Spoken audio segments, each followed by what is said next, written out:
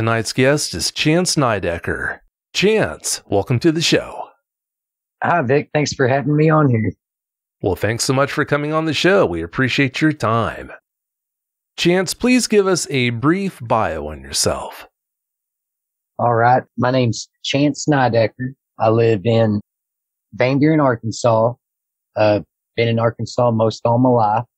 We're outdoors folks, grew up outside, still play outside every chance we can. We like to hike, fish, hunt. And, uh, I mean, that's pretty much what we do during the summertime when we're not at work and at school and we get home, we pack up the truck and go. And we is my wife and my three children. My oldest daughter is 17. My youngest daughter is 12 and my son Jebediah is 14.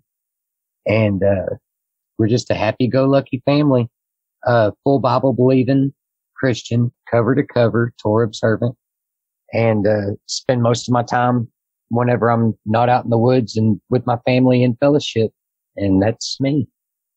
Well, it sounds like you've carved out a great life for yourself, but I've got to tell you, Chance, I'm kind of disappointed that you didn't even mention the dogs.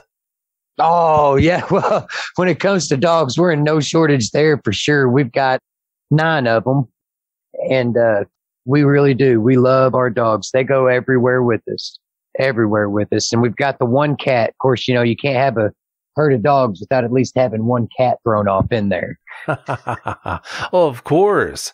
Yeah, you've got me jealous. I love animals. So, like I said, I'm jealous. Oh, we had our way, we'd have a field full of them. That's for sure. Yeah, you and me both. Before we start talking about your dogman encounters, Chance, from what I understand, you had a baboon encounter too. Please give us, well, what can you tell us about that? yeah, when uh, whenever I was a teenager, I used to do volunteer work at the zoo in Gentry, Arkansas. It's called the Gentry Zoo. And uh, it's not a big time operation or nothing, but you know, for Arkansas, it's the only one we got really. And, uh, we were feeding the baboons. And the way that you do that is we chop up fresh fruit that was donated by supermarkets and stuff from nearby towns and whatnot. And, uh, we chop them up and just set it on like a baking tray, like you cook cookies on, you know, had about three inch sides on it. And they're pretty sizable cages that they were in. They weren't all cramped up or nothing. But for the drive through safari, you know, they went to like a smaller pen area for when the people drove through, they were real easy to see. Well, the smaller pins, they're made out of chain link and they're probably, oh, nine foot wide across the front and about six to eight foot deep. And, uh, they've got just a little slot on the bottom where you set the food tray down and you push it into them so they can have their snacks. And I was sitting there looking at this one fellow, this baboon, and, uh, he kept nodding his head at me, just kind of pulling his chin up, giving me the old what's up. And, uh, so I started doing it back at him. And, uh, little did I know that in baboon language, that's pretty much like flipping the bird and calling somebody out in human terms. So I was sitting there nodding with him and I turned my head for just a second to look over at the guy that I was working with. And it didn't take next thing I knew, I was flat on my back and up to my knees through that little food slot door. and if it wasn't for that guy pulling me out of there, ain't no telling he may have chewed my toes off or at least beat the fire out of me what he could. But, uh, I'm telling you, those baboons are strong for as big as they are. I mean, he, he probably couldn't have been no more than three foot tall, little sucker. And he just, he did. He put me on my back and had me halfway in that cage before I knew what was happening. Wow, that's rough. When you think about how big their teeth are, if he would have bitten your leg, I can only imagine the damage you would have done. oh, done. yeah, their their canines are huge, but uh, I'm guessing he was just wanting to play around because I mean, if he wanted to, he had me dead to rights. He could have put a real hurting on me. But seeing as how he didn't immediately go into biting and gnawing at me, I think he was just trying to scare me. And I guarantee it worked. I can't say that I wasn't a little wet in my pants after that was over with. Oh, I bet you were. And yeah, for good reason. And it sounds like he was just trying to prove a point, which I'd say he was pretty good at getting that point across. Oh, he showed me who the big man on campus was. That was for sure. I, I definitely looked at him in a whole new respect from then on and used a stick to push the food tray up under there instead of my hand. Huh. Yeah, I'll bet you did. There's a place called Devil's Den State Park close to where you live that's got an interesting history. Please expand on that for us. Oh yeah, Devil's Den is a beautiful, beautiful area to go in uh, northwest Arkansas, and uh, there's all kinds of good hiking trails up in there. There's good creeks for swimming in, whatnot, clear water. There's even natural fed springs up there that are drinkable. But the best part about it is the caves up there. And when we were kids, the caves were actually open and you could go through them and tour them. But we'd go on, uh, trips from school and stuff too. Was like one of the things you really looked forward to in the fourth grade was getting to go to Devil's Den. And, uh, I can't remember exactly when, but it was in the nineties because I'm a nineties kid. It was sometime in the nineties. They closed all the caves off and they welded bars. They, they actually anchored hinges into the rock and strap iron, put up metal like gel style gates on them with big locks and, uh, closed down the cave systems. And they said it was for white nose fever for the bat population. But, uh, if you try to look up what's going on with white nose fever and stuff like that with the bats, you know, you really don't get much farther than that's the reason that they've closed the caves down. But there's all kinds of stuff up there that's different. And, uh, my brother and I, we like to cave and such. We were up there, uh, about a year or so ago, maybe two years ago. And, uh, we're kicking around with the family and we were kind of off on our own, just him and I having some brother time. And on the back side of one of the caves called, uh, the Devil's Icebox, there's a crag that we found that you can kind of crawl down into and you got to do a lot of squeezing and wheezing to get down in there. But a skinny feller like I am, he is, you know, you can squeeze off in there and sneak around the main entrance part. So you don't really have to worry about a locked gate. So we thought, well, we'll go up there and just kind of sneak off down in the, in the cave a little bit and just go down in there, him and I, and see what was going on. So we were hiking around to that crag. And now mind you, this, this is in the woods. It's off the beaten path. You have to hike to get there and know where you're going to find this crag. So we hiked up there where it was and we'd found a telecommunications cable. To the best of my reckoning, that's what it is, is a telecommunications cable about figure around as my thigh. So shoot, I'd, I'd reckon around 14 to 18 inches around. So it'd probably be like a piece of four or six inch piping and, uh, it had come up out of the ground about three or four foot from that crag and then ran down into the crag. So somebody had to bore quite a distance to get that cable put in there. And, uh, I've ran fiber optic cable before. So I know, I know that it's no joke whenever you're plowing and boring a line, especially a line that big. And that's all rocky terrain. So my, my brother and I, we crawled down off in there anyways. We thought, oh, that's cool. You know, let's see where this thing goes. So we started crawling back off down in there and, uh, you could see that there was a lighting system. There was conduit ran on the wall with lights. Now they weren't on or anything, but you know, I don't know if that was a, a later addition by the park or maybe even one that I just didn't remember whenever I was young. I don't remember there ever being any lights down in there. But, uh, we decided that was about as far as we were going to go because the caves were locked up and, uh, they got signs on them say that they're under surveillance, you know, audio and video surveillance. And with the stuff they got nowadays, you can watch anybody from anywhere with just about anything. So we just decided we were going to go ahead and peel up out of there. And we haven't been back down in that crack since. I'm glad you turned around and got out because goodness gracious, you could have run into Gollum down there. Oh, yeah. You know, that's really something we'd always joke about too when we're down in there. We, you got to crack a precious joke when you're down in the caves. Yeah, I got to do something to calm your nerves. Before we move on, if you've had a dogman encounter of your own and would like to speak with me about it, whether in private or on the show, either way is fine, please go to dogmanencounters.com and submit a report. I'd love to hear from you. Also, you should know I've got a new Bigfoot show I'm producing. It's called My Bigfoot Sighting, and I put a link for it in the description for tonight's show. You really should check it out. If you listen, you'll see that it's a different kind of Bigfoot show, and I think you'll like it. All right, Chance, please tell us about your encounters now. Give us every last detail that comes to mind. All right. Well, uh, I was 16 years old when I had my first sighting, and it was in the year 2000. And uh, what I was doing was I'd go out and bow hunt, and family member of mine would drop me off wherever I want to go and I'd go and hunt and then they'd come and pick me up at a predetermined time because we didn't have cell phones or none of that jazz. No way to get a hold of anybody or, or let them know if we were wanting out early or not. So we'd make a plan, you know, hey, I'll drop you off here. I'll pick you up either later on today or tomorrow or whatever time we set up for the pickup arrangement. So this time I was going to go up Bassy Grass Creek and go up there and do some bow hunting. And, uh, where Bassy Grass Creek is, is it's between the, between two towns between uh, Central City and Lavaca, Arkansas. And, uh, I lived in Lavaca at the time. So I had my family member drive me down to Bass Grass Creek. And if you go up the creek a ways, it leads off into military base, Fort Chaffee.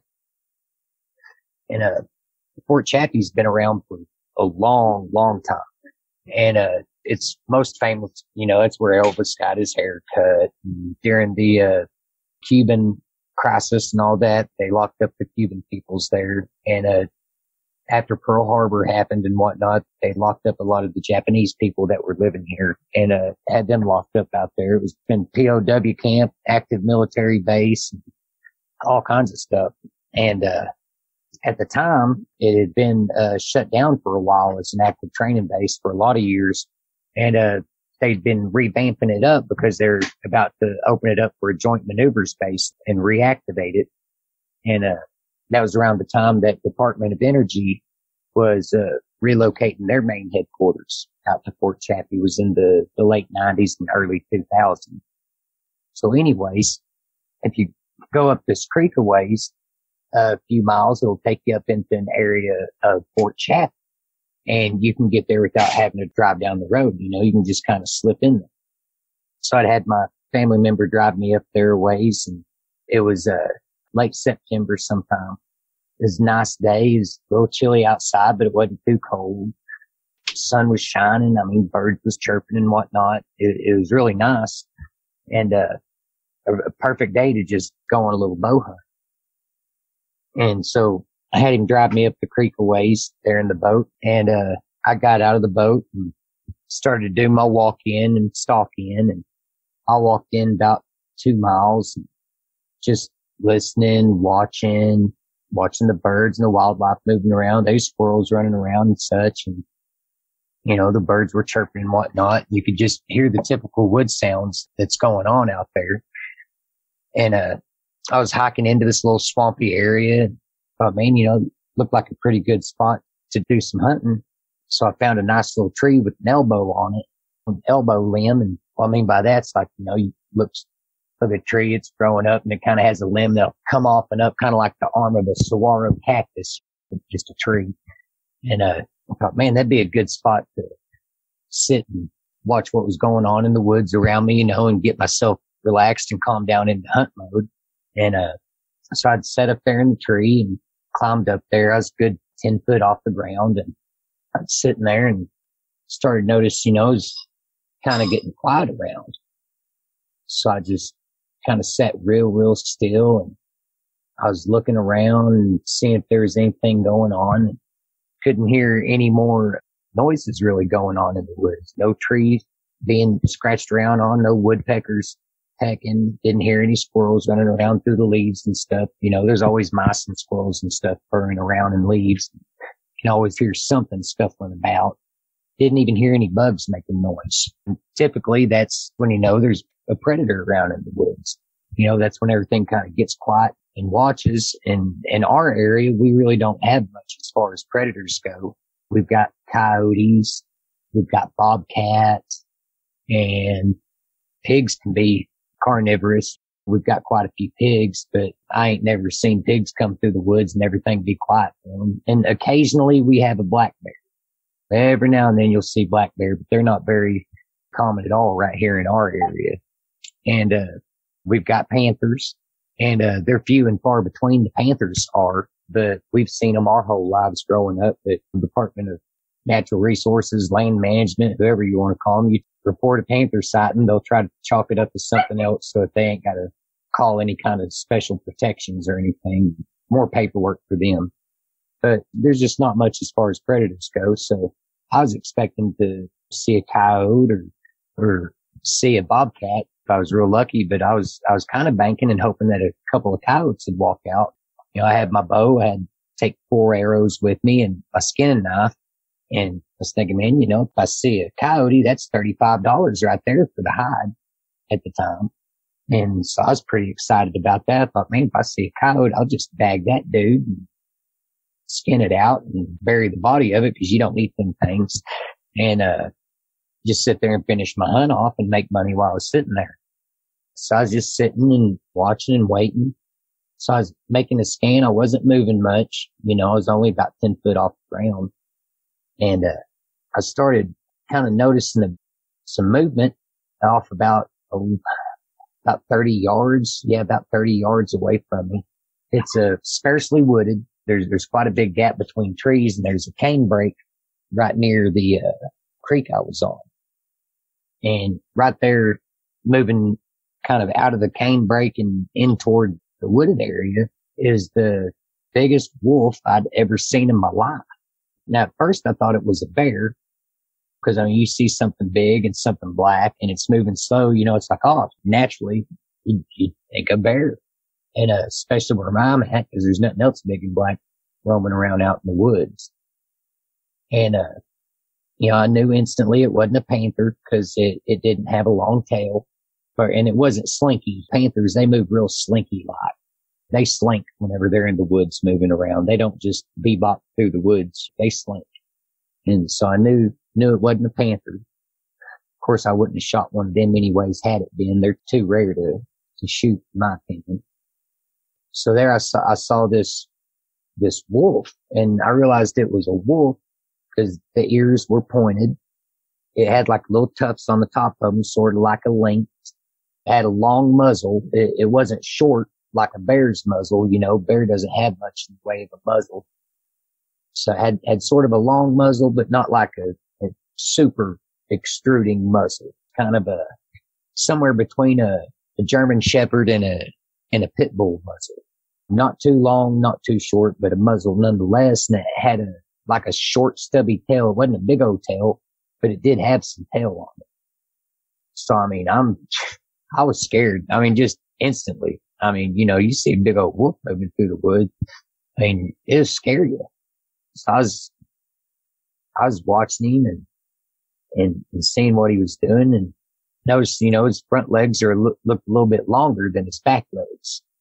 And, uh, I was like, man, you know, that's kind of kind of weird looking, you know, and so I was just being quiet, letting this thing walk on by. I didn't want to have nothing to do with it. So as I was watching it, he was, he was walking and he was just about right in front of me at, at a 12 o'clock position.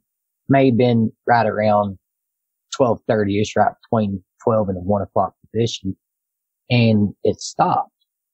Now that really kind of scared me or put me on edge. I guess on edge would be a better way to say than, than really scared because I was just kind of edgy. You know, I'm 10 foot up in a tree. I'm not really too scared of a wolf getting me, you know, but I, anybody's going to be on edge sitting there staring at a big old black wolf about the size of a bear. So I was watching him and he'd stop. He's kind of put his nose up, kind of giving the, giving the air test, the, the smell.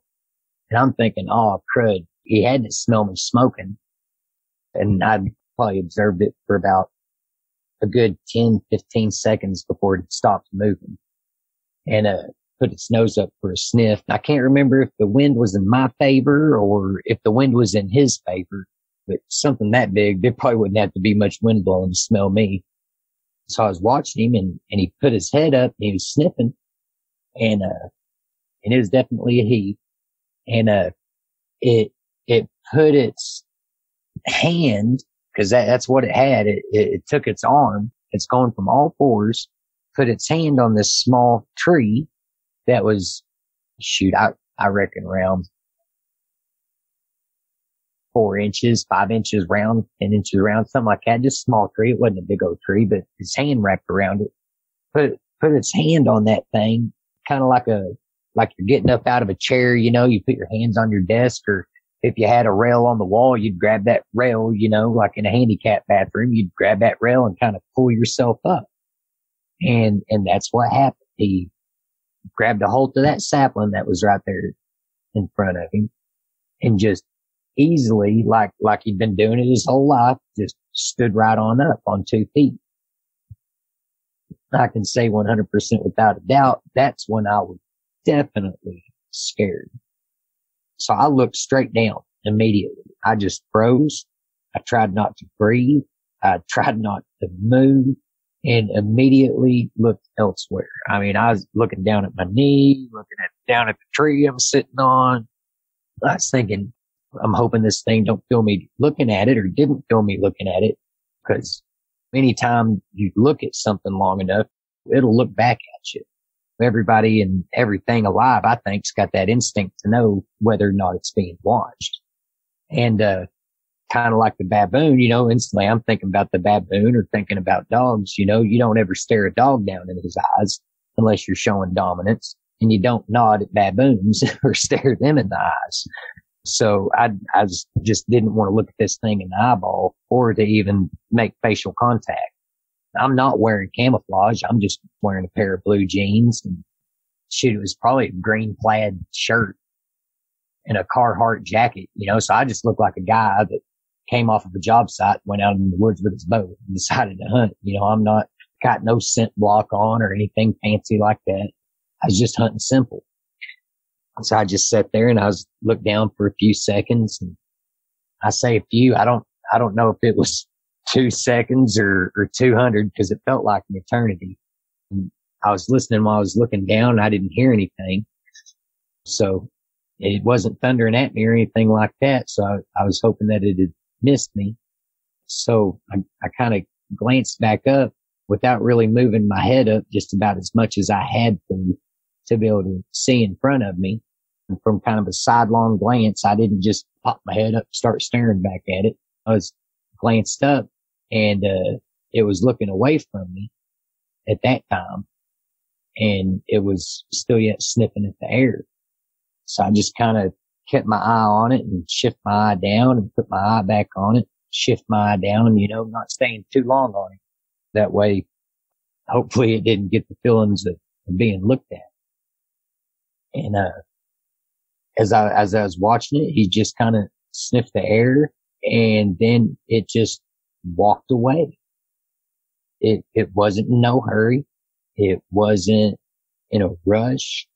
It just like, like I was out on a stroll down the road. You know, he was out on a stroll in the woods. I mean, he was, he was walking and sniffing on two legs and he was comfortably doing so. And, uh, I say he because you could, you could see he was a he and, and had what he's have. And, uh, he was black. He's probably a good, I'd say anywhere from, I was, I was about 10 foot up in a tree and he was almost at eye level from what I was reckoning. So he had to be at least between eight feet and 10 feet tall, given the terrain terrain may have went up a little bit or down a little bit. I mean, he wasn't, he, he wasn't too far off from me. He was turned around. He was, he was walking off. So I just sat there and kept glancing down and, and looked back up every now and then, just seen, continued walking off. And, uh, after he'd made his exit, I just sat there. I, I didn't move. I didn't get down immediately. I didn't exhale a big gust of wind. I just slowly resumed a, a good breathing pattern and sat there till I could hear the wood start moving back up again. And, uh, it seemed like forever. You know, I don't know how long I sat there. It felt like about half a day, but it couldn't have been that long. And, uh, I started hearing the birds came back first. You know, you could hear some birds chirping around and stuff. And you hear the squirrels or the mice, whatever it was, rustling around down on the ground. And all the noises started coming back. So I was figuring, you know, well, his area of influence has definitely moved off, but I didn't feel like coming out of that tree at that time. Shoot, I was still getting my heart, heartbeat back down to normal and, and thinking I got a long walk out of here. And, uh, I told my family members that I probably wouldn't be ready to leave till just about an hour or two before dark. And even then, it's a couple miles back to the boat dock as far as a crow flies, let alone on a walk. but I sat there for a while until I felt safe enough to get down and start walking.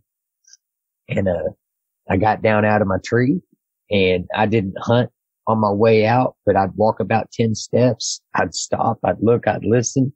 I kept an arrow nocked the whole time and it was, uh, it was scary. It, it was probably the, the scariest walk out of the woods I'd ever had. And, uh, I stalked my way all the way back to the boat dock and, uh, I felt safer there. You know, they've got a concrete picnic table and there's lights, you know, at least. And, uh, there's no public services or anything like that. It's one of them boat docks. It's just a boat dock. That's literally all it is.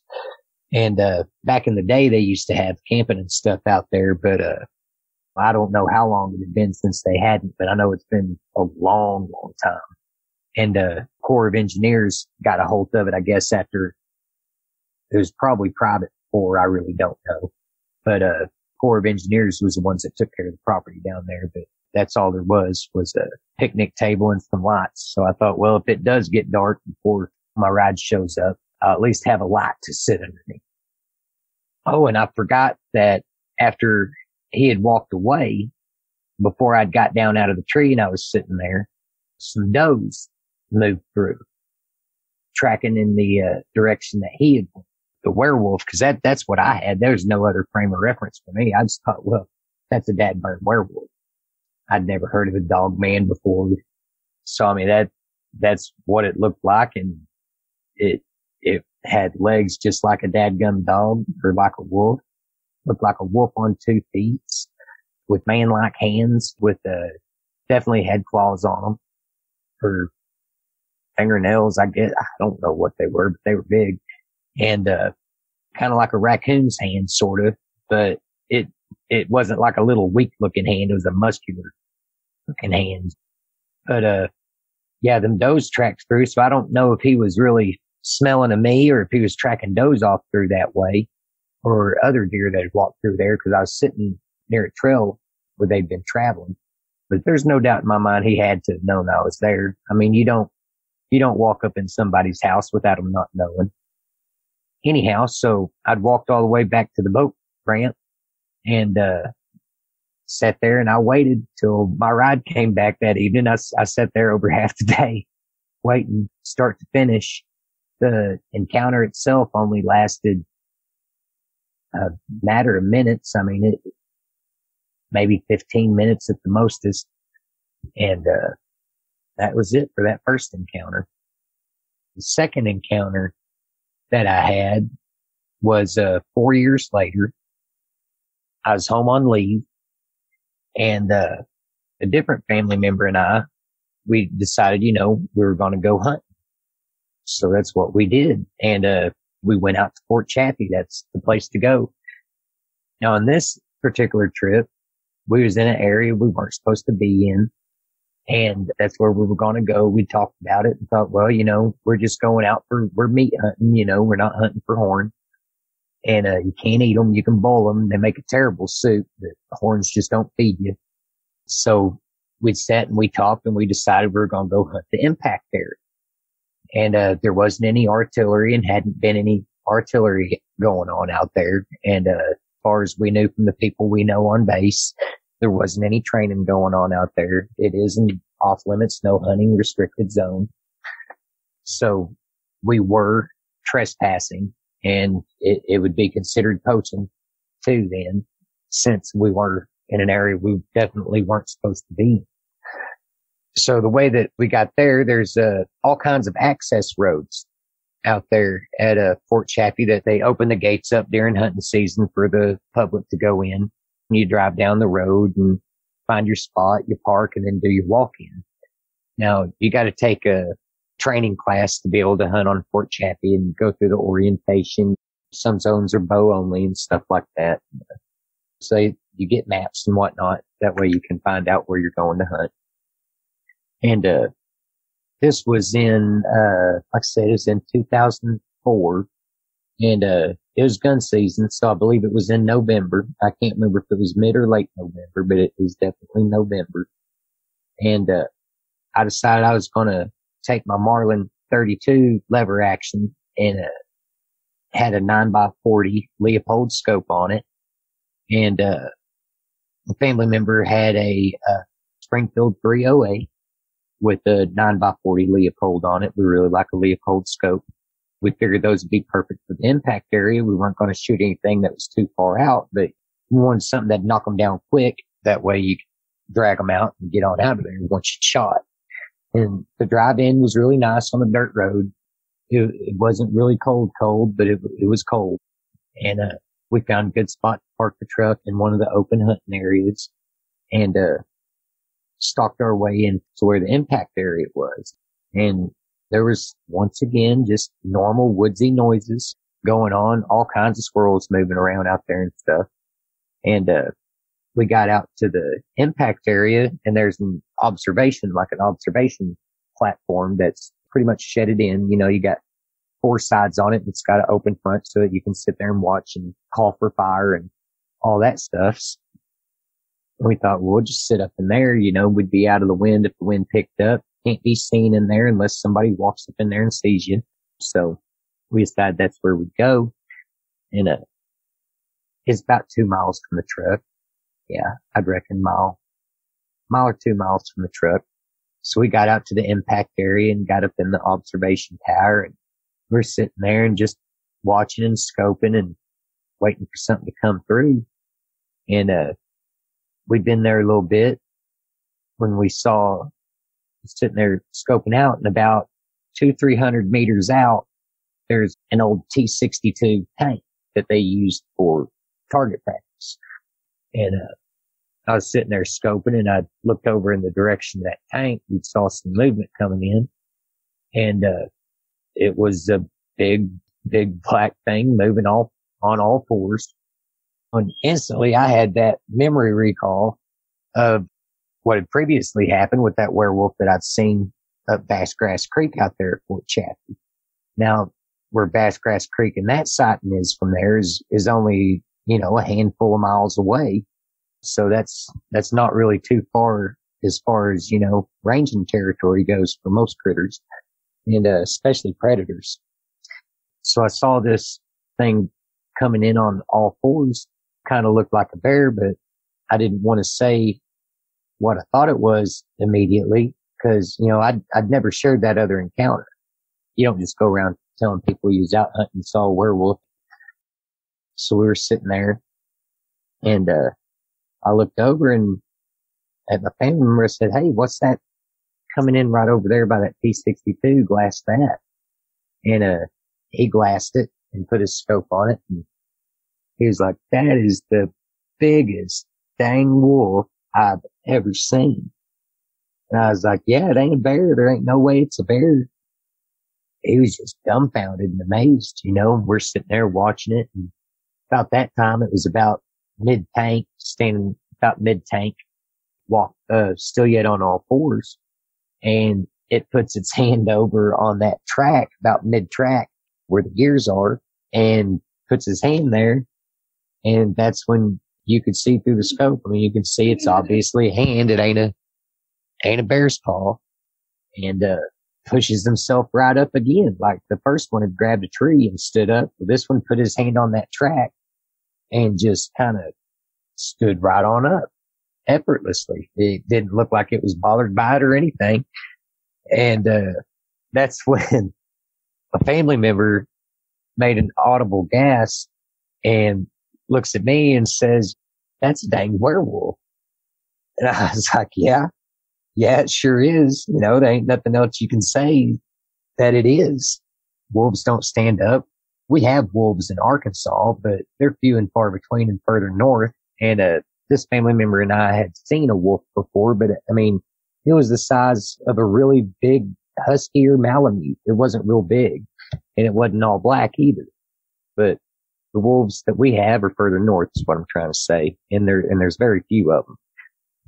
But, uh, this family member had lived in Colorado and such and had, uh, had actually seen wolves before in the wild, so had a good reckoning of what a wolf looks like. So we're sitting there and we were watching it and it puts its nose up and is sniffing.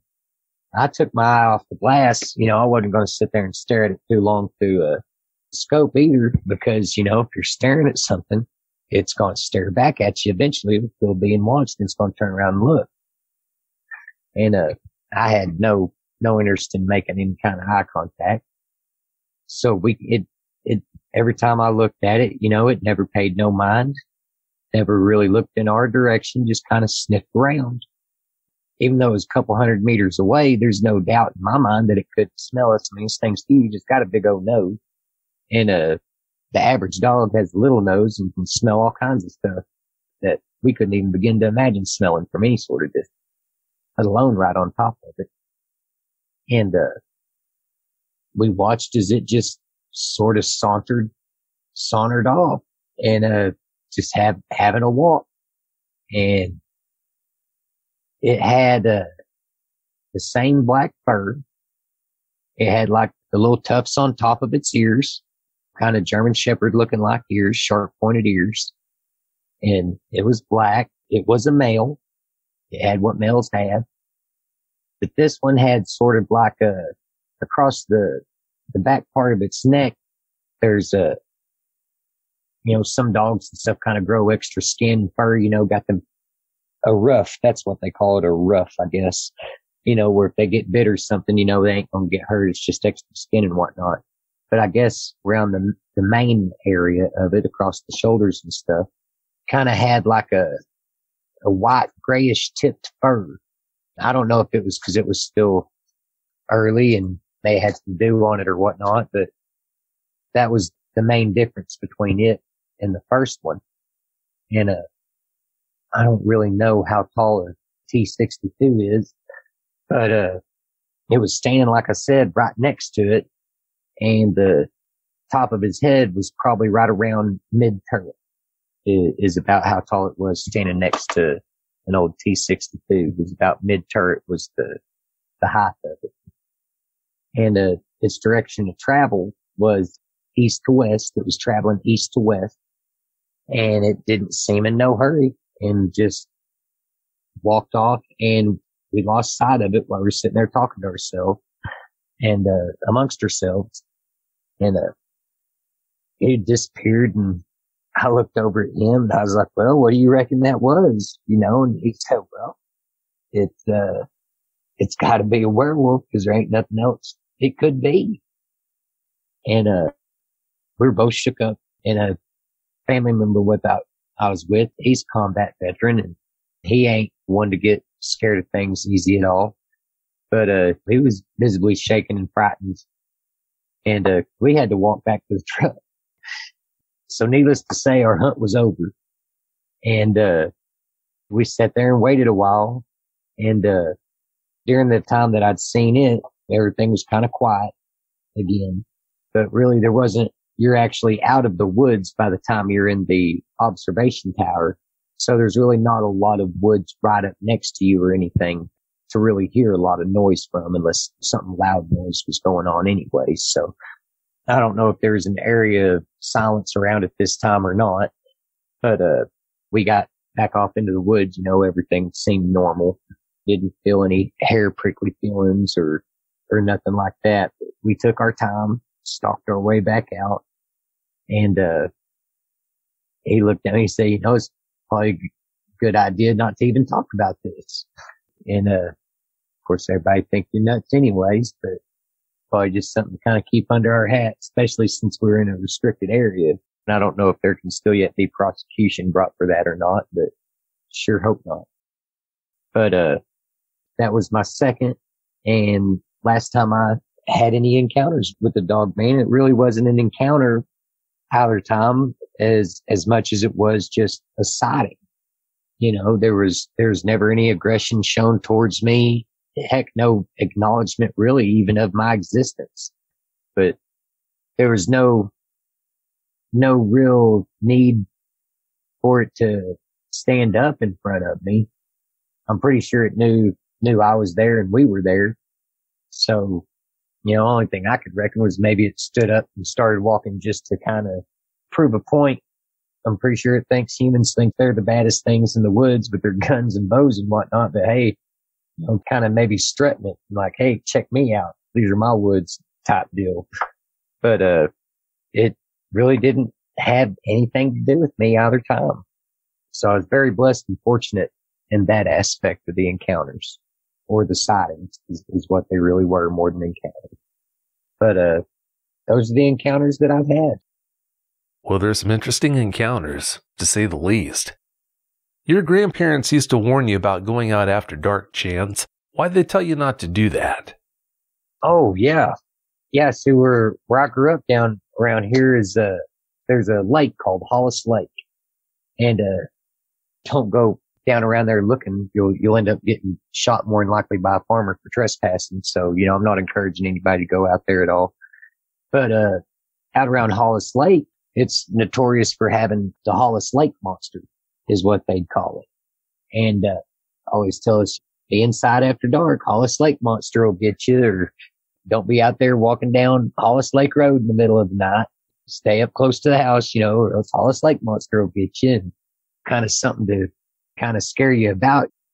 Sometimes grandpa would call it a wild man or catamount or booger. You know, booger was always a real common word. You know, them dogs start barking up outside. You know, they, what are they barking at out there, Papa? Oh, they're booger barking. So you don't really put that, a lot of that together till later on when you start out that booger barking. Oh, well, they must have been barking at a booger or something down there. So there's down around Hollis Lake, there's what they'd always call the Hollis Lake monster. So what do kids do when you tell them, Hey, don't go looking for something, you know, naturally your kids, you're going to go looking for it. So, I mean, this is ever since I could walk. I'd been down around Hollis Lake. Cause like I said, grandparents live down there right by the lake. It's only a matter of about 200 yards or so through the pasture. And, uh, boom, you're there at Hollis Lake. We'd go down there and fish and run trot lines, pop all. And back in, oh, shoot, I can't even remember the years it was but it used to be a big deep lake and was commercial fish before they put the, uh, lock and dam 13 in. And, uh, now it's kind of a shallow lake, but, uh, it, it's pretty big one, pretty big lake down there. And, uh, you know, there's lots of stories around there about the Hollis Lake monster. And, uh, my generation, the younger kids, I say younger kids, I'm 37 and, uh, some of the people my age and especially the older people will know something about it. I don't know if the youth of today are ever really told about it at all, but, uh, apparently it used to be a pretty big deal. And, uh, my mom's told me stories about Hollis Lake monster stories and stuff down there. And, you know, there's one, a friend of hers named Billy was out there. You know, it's, it's a long dirt road, Hollis Lake Road is. And, uh, there ain't nothing but soybeans and depending on what time of year it is, you know, they grow corn, soybeans, milo, and uh, there's a sod farm down near the end of it by McClure Road. At the end, like that's where people lives off that end down by McClure Road. But up until then, it ain't nothing but pasture on one side, little dirt road, and uh, lake on the right hand or the left hand side of the road. You know, so you just got lake and you got fields. And uh, there's a couple little gas wells out there in the middle of the pastures. And folks would pull off down the gas well road, you know, and net, you know, be out there making out and whatnot. So mom said that her friend Billy and his girl at the time was out there necking and, uh, heard something moving around out in the trees and, uh, didn't pay much mind. And she said that they said that a car got bumped and kind of rocked that got them scared, you know, so they jumped up to the front seat of the car and said that Billy put it in drive and was going to get out of there and, uh, felt something slam on the back of the car.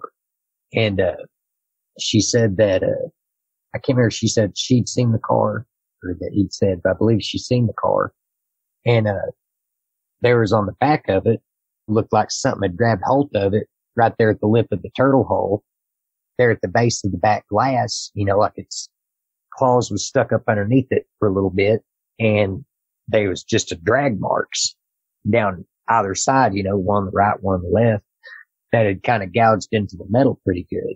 This had had to been in the seventies, maybe early eighties, but probably mid seventies. So, I mean, that was real American steel back then. It wasn't none of these fiberglass jobs that you got driving around. So it'd to be something pretty substantial to leave markings on there like that.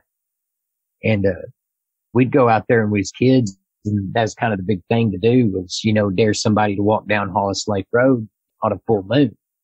And, uh, I've made the trek once or twice outside of real scary you know, everything's real scary when you're a kid, you know, and it's, you're walking down a moonlit road and, uh, you'd always have that feeling when you're out there at night that you're being watched. And, uh, I'd never seen anything down there around Hollis Lake, but when we were kids, we'd go looking for it and, uh, look for signs of it, you know, and look for hair in barbed wire fences. And of course, most of that hair we pulled out of barbed wire fences was probably cow hair, cow rub up against a fence to get his itch on, you know. And so we'd pulled all kinds of hair off barbed wire fences. And there's a few times that we actually found claw marks in trees though. And they'd be up in the tree, you know, between eight feet and 10 feet or so up in the tree. So, I mean, it wasn't like a bobcat reaching up on a tree and scratching on it and stuff. You know, they're pretty wide, wide marks between the claw marks and every now and then we coax grandpa into walking down there and seeing what we found. Grandpa walked down there and looked at it. what is that, Papa? He said, well, it looks like the Hollis Lake monster's sharpening its claws up for ornery kids. Get on their kids with. Y'all guys be sure to be back up to the house before dark. And, uh, Grandpa wasn't prone to lie about nothing. You know, he's Baptist minister and led music down at church for 40 plus years till he passed. And he's straight up kind of feller. And, uh, he'd never said anything about seeing anything out there, but he, if you asked him, he'd tell you it was real. And, uh, I don't reckon he was one to lie to us. And, uh, also down there one time at Grandpapa's old house, that's where my dad lived, was down there visiting my dad one evening and uh, our evenings can run pretty late. You know, we'll play dominoes and just chew fat and visit. You know, we're family oriented people and you don't ever just visit for an hour or three in Arkansas. You know, the visit's like an all day thing, sometimes half the night too. And, uh, we out there visiting and, uh, we'd run out of Dr. Peppers, you know, and that's almost critical level when you run out of Dr. Pepper in the refrigerator. So my wife had went out to her Jeep to get a case of Dr. Pepper out of there. And, uh, where the carport is, it's right there on the side of the house. And you got to walk out the front door of the, or the side door of the house and walk under the awning. And that's where the cars are parked.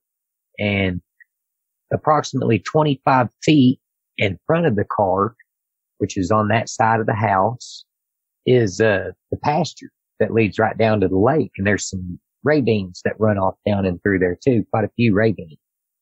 And, uh, you know, there's some coyote dens down in there you could find and stuff back then, but never found anything real big. But anyways, it's probably a good 20, 25 feet. I think 25 feet's a, a very generous distance because I don't think it's definitely no more than that far away is where the pasture starts. And there's a good 30, 40 yards of nothing but grass between right there and where the where the ravines start, and that's where the trees grow in the wood is right there along the ravines. The rest of it was all kept clear for running a few cows on or for hay. And uh, it was that time of year that they was letting the grass grow out for hay. So Johnson grass and the hay grass was up a good three, four foot tall, probably right around four foot tall. It was just about ready to cut. And uh, I remember, she was told, don't be driving down through the pasture. We're going to be cutting soon. You know, you don't drive across the grass. That's less hay made. So she went outside and was going out to her Jeep to get the Dr. Peppers. And, uh, she figured she'd smoke her cigarette while she was out there and, uh, lit her up a cigarette and had that being watched feeling. Just felt skin go up on her and whatnot. The hairs on her neck go up. So she hops off in the front seat of Jeep to the, the you know, the way she smoke her cigarette, not just be standing out there. Cause there you get eerie feelings standing out there at night sometimes. And, uh, it's a good 30 feet, well, a good 40 to 60 feet to the next house, which is to the left of where she was standing. And, uh, that's another family member's house. Of course, it's late, stays all in bed and everything and it's dark.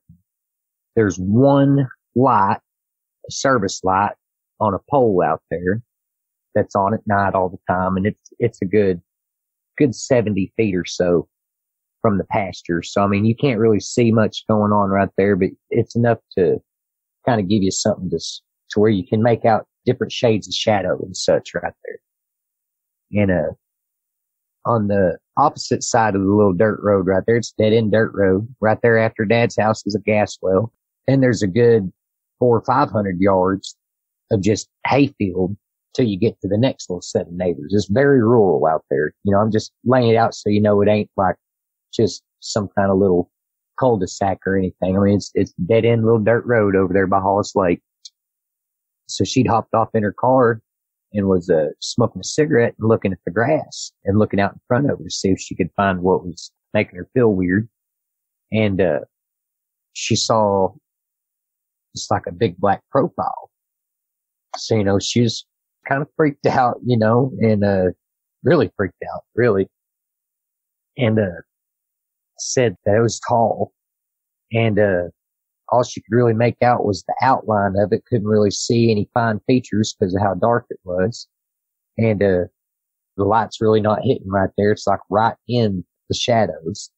And, uh, she said what she could see of it that was standing up out of the grass was a good three to four foot tall. So the grass being three or four foot, what she's seeing about three and four foot. So, you know, we're talking anything from six to eight feet tall or better.